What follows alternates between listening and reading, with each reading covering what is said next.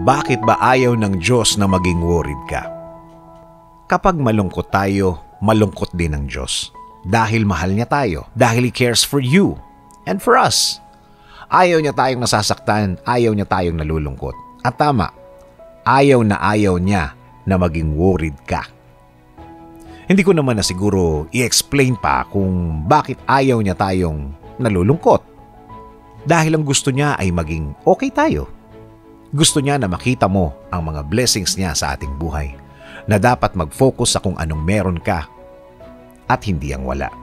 Kapag worried tayo, ay marami tayong pwedeng gawin. May mas tendency tayong manakit at mandamay ng iba. Mga taong walang kinalaman sa mga problemang nadadamay na wala namang kamalay-malay na kung minsan ay mga mahal natin sa buhay na iniiwasan natin sanang masaktan. Tama.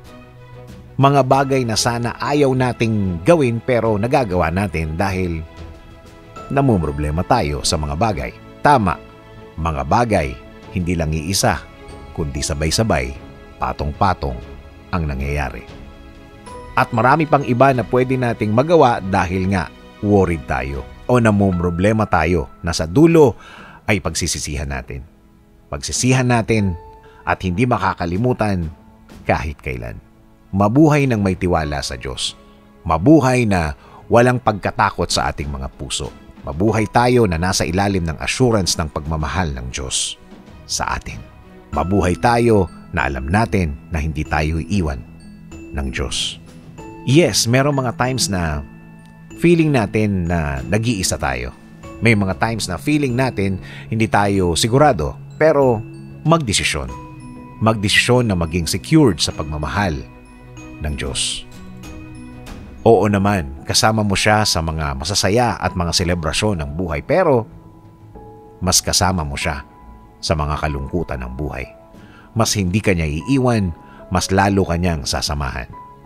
Ayaw niya tayong worried dahil gusto niya tayong maging masaya at malaman natin na enough ang proteksyon niya at pagmamahal niya sa araw-araw ng ating buhay.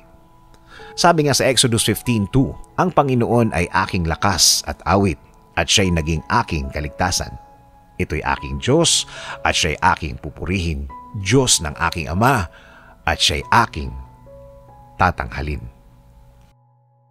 Thanks for watching. Paki-like and share ang video na napanood mo para mas maraming matulungan ng mga kababayan natin, hindi lang dito sa Pilipinas, hanggang sa ibang bansa. And don't forget to like and follow my page, Dennis Antinor Jr. Certified. Thank you and God bless.